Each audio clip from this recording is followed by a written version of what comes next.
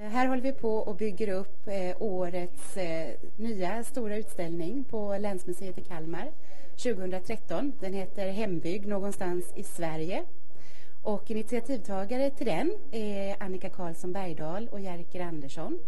De har rest runt i hela Sverige från norr till söder, träffat ungdomar med olika bakgrund, intressen och förutsättningar, intervjuat, fotat och filmat dem om vad de tycker om sin hembygd en del älskar sin hembygd, andra vill bara därifrån. Några har tvingats fly från det, den ort de kommer ifrån.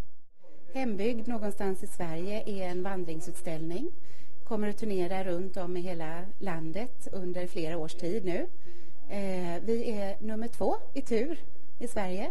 Eh, vi har fått den hit efter Norrköpings museum, nej, Arbetets museum i Norrköping. Eh, så vi visar den alltså som nummer två i hela landet och det tycker vi är jätteroligt förstås.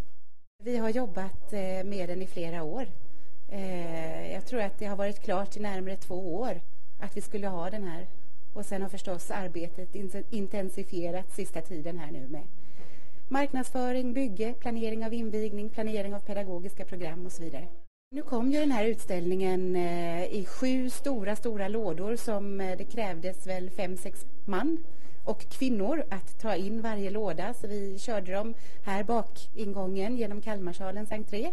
Eh, men de kom ju färdiga i moduler så nu är vi inne på andra dagen som vi bygger utställningen. Och vi är snart klara så två dagar ungefär tar det att montera upp allt det här.